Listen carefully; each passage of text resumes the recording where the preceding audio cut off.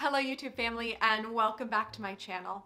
In today's video, I'm going to be talking about one of my favorite topics. It's actually the topic that inspired my very first YouTube video many months ago and I'm really excited to bring it back up and talk about it in a more systematic way. So today we're going to be talking about inspiration.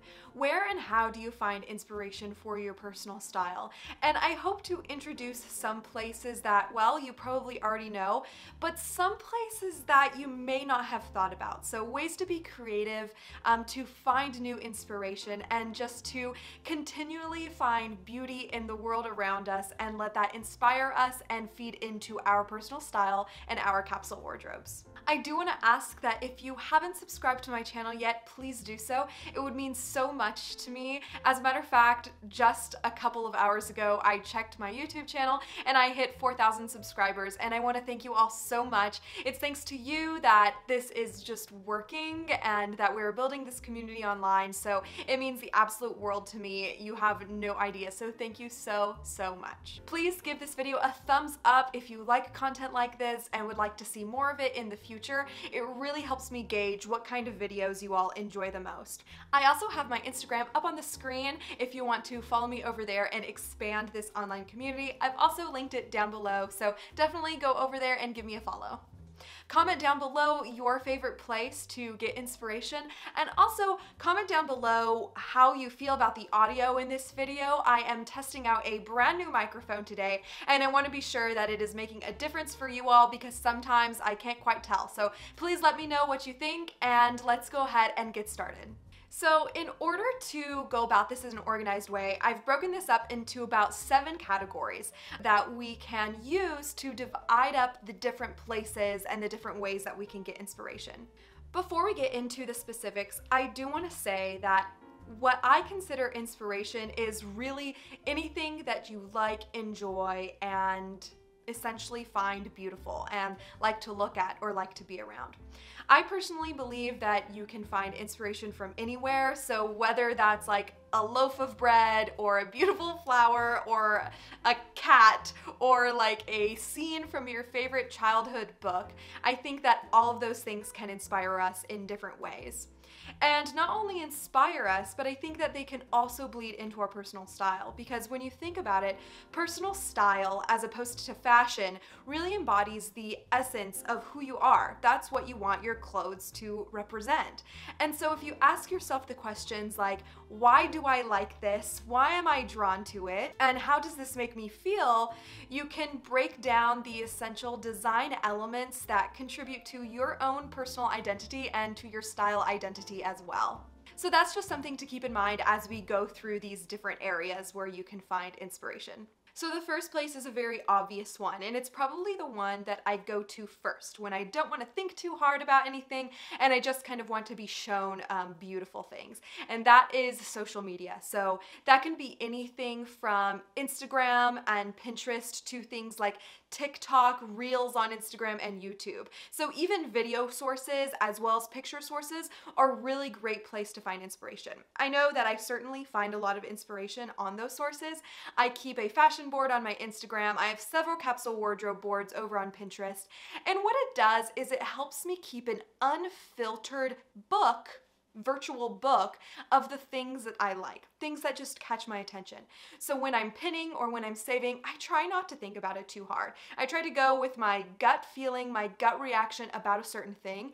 And then when I go back and I kind of curate it a little bit, I can say, oh, okay, this actually does contribute to my personal style, whereas this doesn't. It was something that I just kind of saved on a whim.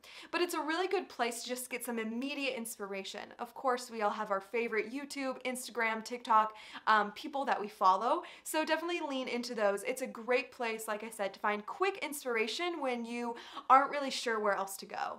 It's also a very concrete source. So it's easy to get to these things. It's easy to save items on these platforms, and that makes it really easy to find inspiration. There are also search engines and hashtags. So those kinds of things can really help you if you want to apply some kind of genre or label to your personal style. You can use that as a search term to help you discover even more creators that really, really inspire you.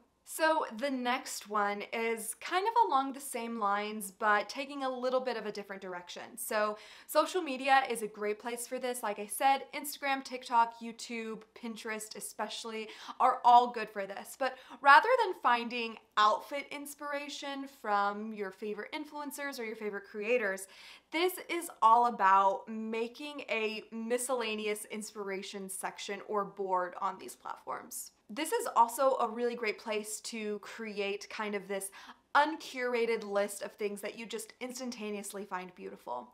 And so when I say miscellaneous inspiration, I mean literally anything.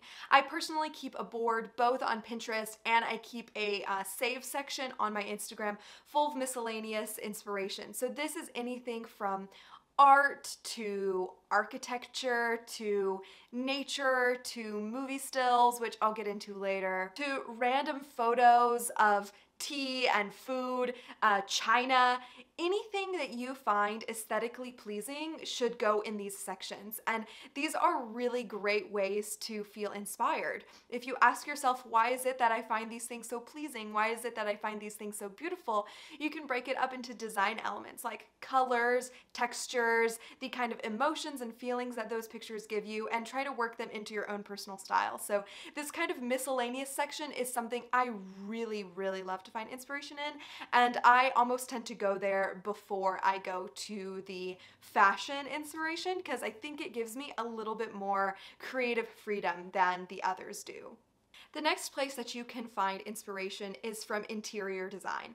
So whether this is your own Pinterest boards or save options of interior design photos or um, things that you are working towards in your own home or apartment or wherever it is that you dwell, or this is the current state of your living space already, interior design is a really great place to find personal style inspiration. And the reason for this is that design elements can cross genre boundaries. So things that are minimalist in your home also reflect the same kind of minimalist style. Things that are bohemian or nature inspired in your home can also cross over into this kind of nature bohemian inspired fashion. So looking at things like colors, textures, the use of natural fibers, the use of clean lines, the use of organic lines. All of those things can contribute to what your space says about you, what you want your space to say about you, as well as what you want your personal style to say about you there's a reason why this feels like this and this feels like this and this feels like this. There are so many design elements that cross over and work together. So it's very likely that the way that you decorate your home or the way that you want to decorate your home is pretty in line with the way that you dress or the way that you want to dress. The next one is one of my favorites, and it is film and TV shows. I love getting inspiration from movie stills or from TV show stills, especially period dramas or any kind of show that is set in a different time period. I really love those because I get a lot of inspiration from vintage wear, and so that really reflects in the kinds of things that I consume daily. Some of my personal favorites, and you've heard me talk about them already, are the new Little Women movie. I think the costuming is just stunning.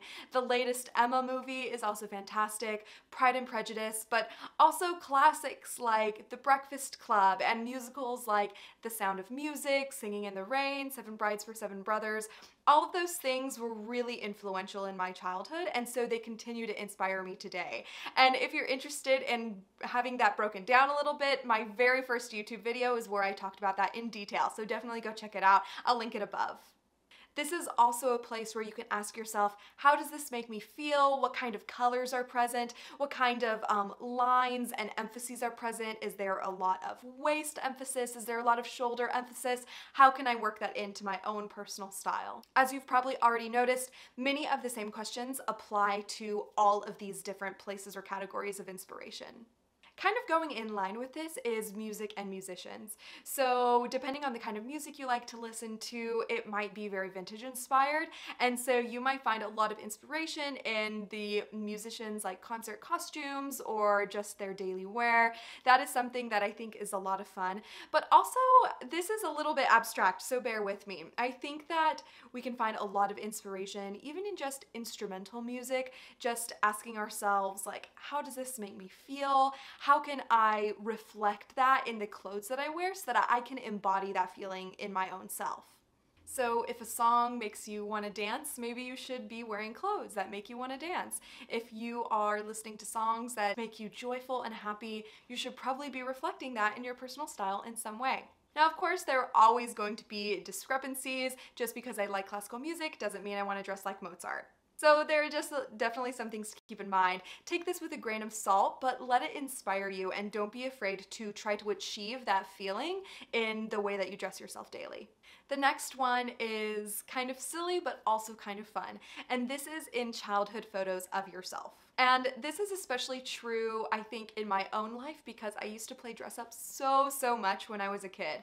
And so looking at those kinds of pictures and looking at the things that I wore, you know, your parents dress you when you're a kid, but looking at the things you wore when you had a chance to dress yourself or when you were able to play dress up or something like that, you can answer the question, what was I drawn to and why was I drawn to it? And kind of take a look at your personal style evolution. And I'm convinced that we really don't change as much as we think think that we do.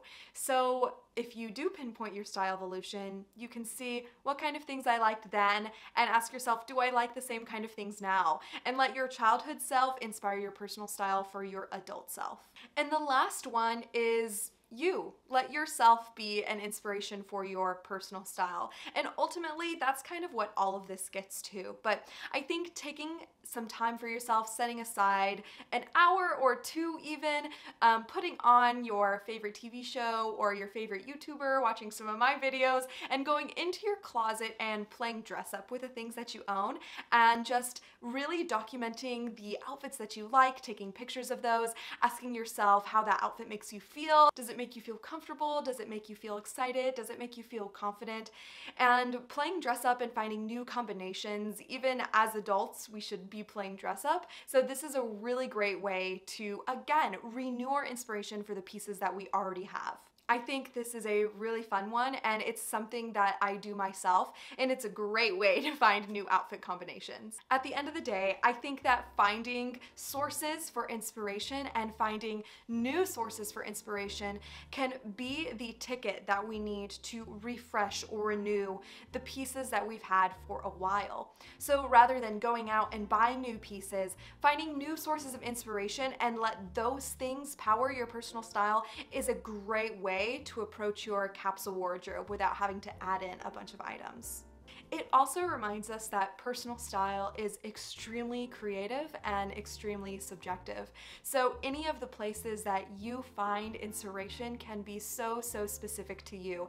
And that is what's so special about the difference between fashion and style. Rather than letting somebody else dictate what the trends are, what the norms are, personal style allows you to dictate what inspires you, what makes you feel good, and how you want to dress every single day. So take some time to get inspired this week or the next or whenever. Find some free time, find some inspiration, and let that infuse itself into your own personal style journey. I promise you won't regret it. So that's that for today's video. I want to thank you so much for joining me. It's been a pleasure to share this with you. I've been thinking about this video and mulling over it for probably a couple of months, but just wasn't quite sure how to approach it without being too abstract or having things that are hard to grasp. So I really hope that it was helpful to you and that you take a moment to be inspired today, tomorrow, and the days that follow. Once again, I want to please ask you to subscribe if you haven't already and give this video a big thumbs up if you enjoyed it and really like inspiration videos. I know these are so fun for me because I get to share some of my inspirations with you and that's so, so exciting. Comment down below what your primary source of inspiration is and don't forget to comment about the audio audio just to let me know if it works for you, if it sounds good, so I can be sure whether to keep this mic or keep looking for another one. I have also put my Instagram up on the screen so that you can follow me over there if you would like to see outfit inspiration or just, you know, get to know me a little bit better. I post on my stories several times a week, so it's just another way to extend this online community. I've also linked my profile in the description box below, so be sure to check it out. It's been an absolute pleasure to spend this time with you today. I can't wait to see you in the next video, and I hope you have an awesome, awesome day. Thanks for watching. Bye!